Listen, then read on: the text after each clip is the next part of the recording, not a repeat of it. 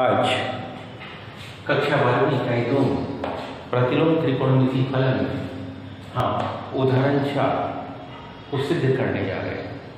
Ten inverse one by two plus ten inverse two by eleven बराबर से ten inverse three by four form को prove करना है। दिए गए पद में हम बाया पक्ष लेंगे। बाया पक्ष हमारे पास है। इसके हल में हम एल लेते हैं। एल हमारे पास में है। कुछ इस प्रकार से। Ten inverse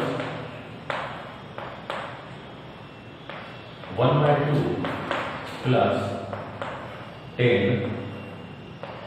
inverse two by eleven ये हमारे पास बाय पक्ष है। यहाँ पर एक फार्मूले की हमको आवश्यकता पड़ेगी। वो जो फार्मूला है, वो कुछ इस प्रकार से, इसको थोड़ा ध्यान से देखिए। तो फार्मूला हमारे पास था। Ten inverse X plus ten inverse two है यदि हो तो हम इसको लिखते हैं ten inverse X plus Y बटे वन माइनस एक्स वाई ये हमारे पास फार्मूला है। इस फार्मूले को ध्यान से देखें तो हमारे पास यहाँ एक्स बराबरी से, अगर हम इससे तुलना कर ले तो बड़ी आसानी से हम बतला सकते हैं कि हमारे पास तुलना करने पर ये जो वैल्यू आ जाएगी एक्स और वाई की, उसको थोड़ा ध्यान से समझिए। तो एक्स की वैल्यू हमारे पास होगी। एक्स बराबरी से तुलना करेंगे तो एक्स बराबरी से हमारे पास होगा एक बटे दो, और वाई बराबरी से होगा हमारे पास दो बटे इस मान को इस सूत्र में हम प्रतिस्थापित कर देंगे तो हम इसको कुछ ऐसा लिखेंगे। Ten inverse one by two plus ten inverse two by eleven बराबरी से हम लिख सकते हैं, क्या? Ten inverse X plus Y X plus Y mean one by two plus two by eleven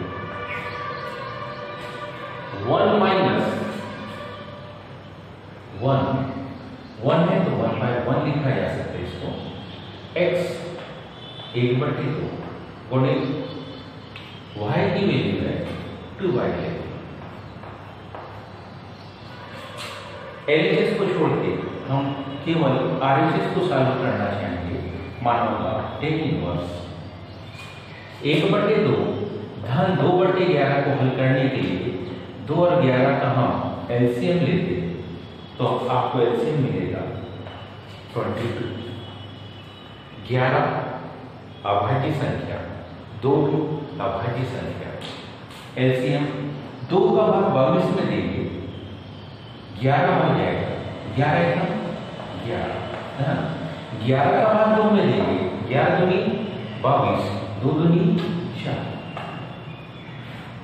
बटे वाले पद को देखिए तो हम पाएँगे कि दो से दो कट जाएगा इसके बटे में एक, इसके बटे में ग्यारह तो इसका एलसीएम आ जाएगा। ग्यारह। एक का भाग जब ग्यारह में देंगे तो ग्यारह बार जाएगा और ग्यारह का इसमें गुना होगा।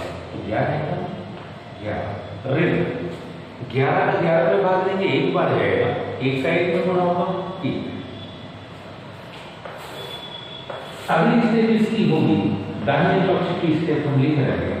टेन इनवर्स ग्यारह में चार पर जोड़ेंगे तो पंद्रह बटे बाईस। इसकी बटे की ग्यारह में से एक को तो दस बटे ग्यारह।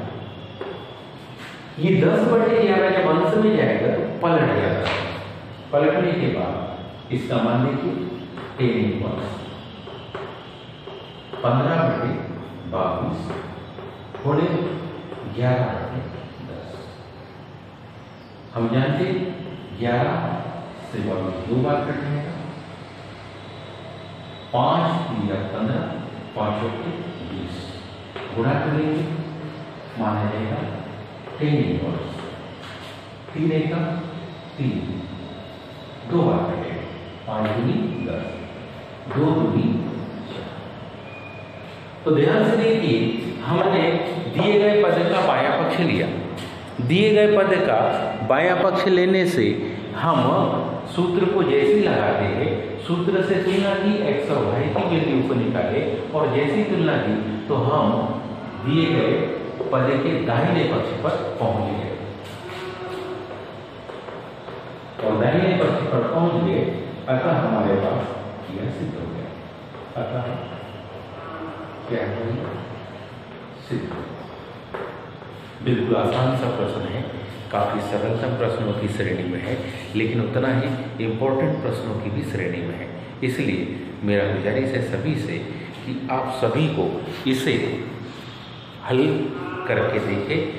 इसके ऊपर आधारित यहाँ अंक बदले जा सकते हैं। अंक बदलने पर आपको सिर्फ़ योगफल गुणनफल ये संक्रिया करनी होती है और आप सीधे सीधे दाहिने पक्ष पर पहुँच जाते हैं। उम्मीद है आप सभी को समझ में आया होगा। आज के लिए इतना ही। शेष कल, धन्यवाद।